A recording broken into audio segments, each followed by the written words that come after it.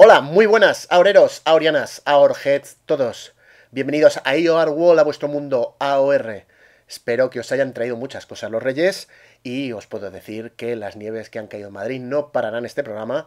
Así que hoy hay nueva reseña, nuevo análisis y vamos a irnos a los años 90, a 1991. Pero antes de desvelaros cuál va a ser el disco, os recuerdo que quedan 7 días, únicamente 7 días, para que se acabe la campaña de precompra del libro AOR World 2, El viaje continúa.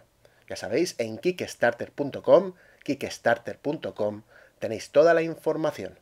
Así que no perdáis la ocasión de haceros con esa segunda parte del libro oficial de este canal. Y sin más, vamos con el disco de hoy. Aquí lo tenéis. Lita 4 para RCA Records en 1991. Este es Dangerous Carbs. En el año 1977, Cherry Curry, la cantante principal del quinteto de Runaways, se retira de la banda para comenzar una carrera que la lleva del álbum solista Beauty's Only Skin Deep del 78 a las intentonas pasajeras en forma de dúo con su hermana Mary. Ahí estaba en el álbum Messing with the Boys del 80. Las componentes restantes, Joan Jett, Lita Ford, Vicky Blue y Sandy West, continuarían como grupo hasta 1979, un año después de la edición para Mercury Cherry Red de su cuarto And Now the Runaways. Vicky, aunque aparece acreditada, ni siquiera llegaría a tocar en este disco. Cuando la banda se rompió en pedazos por diferencias creativas, o lo que es lo mismo, Joan Jett no quería seguir el estilo hard rock que tanto gustaba a Foria West, Lita recogió los cachos que más le interesaban y decidió que seguiría adelante por su cuenta. Así, y tras dedicar un tiempo a perfeccionar su forma de cantar, acabaría publicando Out for Blood en 1983 con el respaldo de la anteriormente citada Mercury Records. A este vinilo le sucedieron varios más que sirvieron para apartar de su figura el fantasma Runaways y convertirla en una de las intérpretes solistas de rock duro más valorada de los 80. Una grabación que ayudó a que esto se hiciese realidad fue su tercer Lita del 88. Estreno de RCA Records como su nueva casa discográfica, el mismísimo Mike Changman de productor y cuatro singles de presentación que caminaron firmes por las listas estadounidenses, británicas, canadienses y suecas, entre ellos Close My Eyes Forever, su dueto con Ozzy Osbourne. Pero, y aunque no parecía de primeras presentar una vena con visión tan comercial como Lita, seguramente sea Dangerous Curves, su quinto LP, uno de los más completos que grabase Lita Rosanna Ford. El año 1990 se cerraba para la cantante y guitarrista con un disco estileto que lucía algo desinflado ante los sencillos de éxito de sus antecesores. Pareciese que para lo que Lita está buscando no le acompaña una producción como la de Chapman. Por tanto, para Dangerous Curves, el productor Tom Werman y el ingeniero de sonido Eddie Delena ocuparán el puesto de Mike. Al Pitrelli, John Lynn Turner, Jim Wallance o el letrista Michael Dynamic son algunos de los nombres contratados para que aporten ideas en forma de canción. Los dos primeros, sin ir más lejos, se unen a Rick Blakemore, ex Fandango, como el mismo Turner, para firmar la rock melódica Little Too Early. En cualquier caso, todos tienen campo para jugar cuando se trata de un disco de Lita Ford.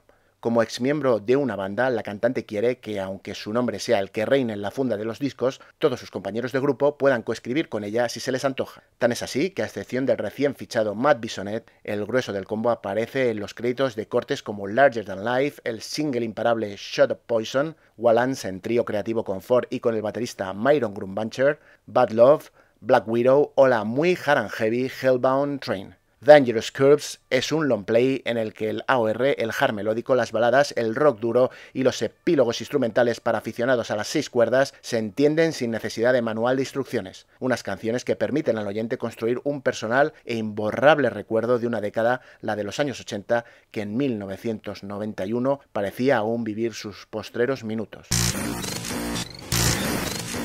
Pues ahí la teníais, era Lita Ford y el disco Dangerous Curves. Espero que os haya gustado el análisis, que os haya gustado la reseña y dentro de muy poquito vamos a tener grandes novedades por aquí.